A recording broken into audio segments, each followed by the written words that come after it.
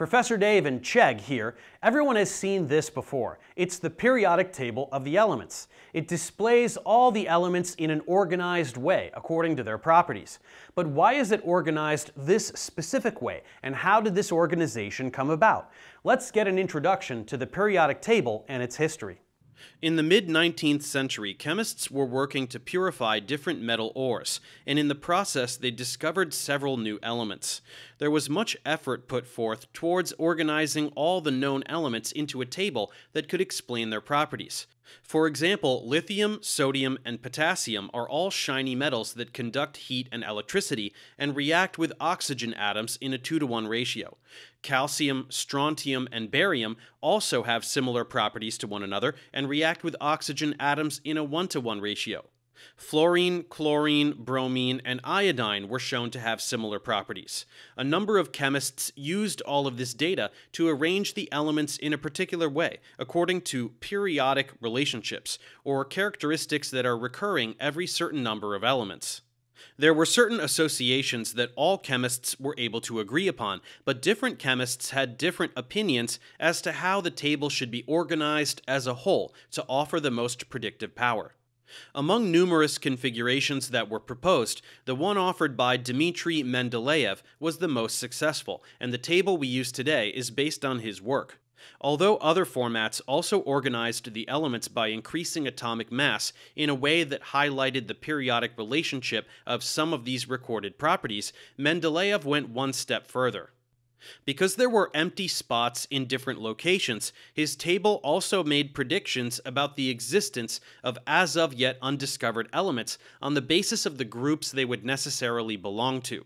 Gallium was discovered in 1875 and was shown to have properties similar to aluminum, just as Mendeleev predicted on the basis that there was an empty spot under aluminum on his periodic table.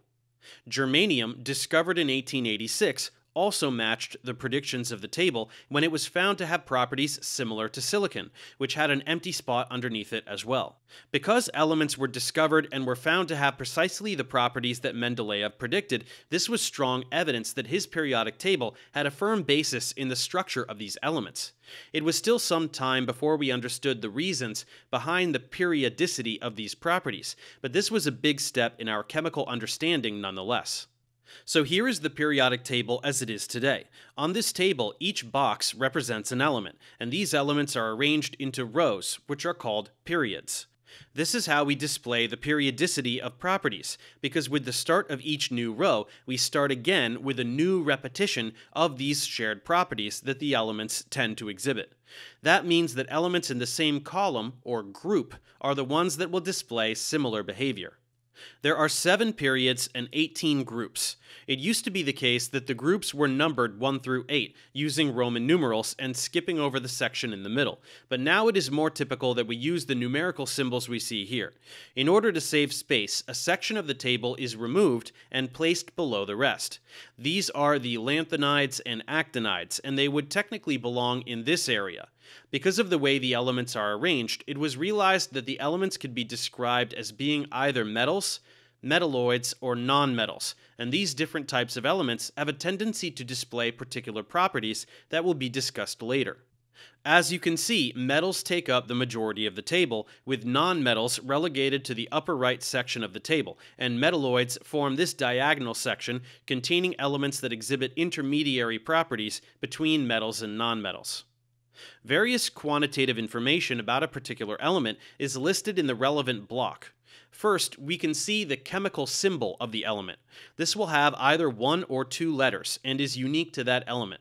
We don't need to memorize all of these, but it is a good idea to slowly become familiar with the chemical symbols for the common elements so that we can quickly locate them on the periodic table. Next, we will certainly notice the atomic number. This refers to the number of protons in an atom, and this is what defines the element. One proton corresponds to hydrogen, two to helium, and so forth. Then there is the atomic mass, which is the average mass of all the isotopes of that element with respect to their relative abundance. That's why the atomic masses are not integer values, as mass numbers must be, which correspond to a specific number of protons and neutrons in a particular nucleus. When looking at an element as a whole, we are talking about the average mass of an atom in a sample of that element, which will depend on the relative abundance of the different isotopes.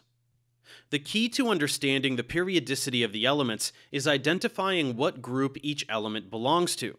As we mentioned, it is the group that an element belongs to that determines so many of its physical and chemical characteristics, which is the basis for the organization of the periodic table in the first place. Apart from categorizing elements as being either metals, metalloids, or nonmetals, we should also be able to name several of the groups and know a bit about the behavior they imply.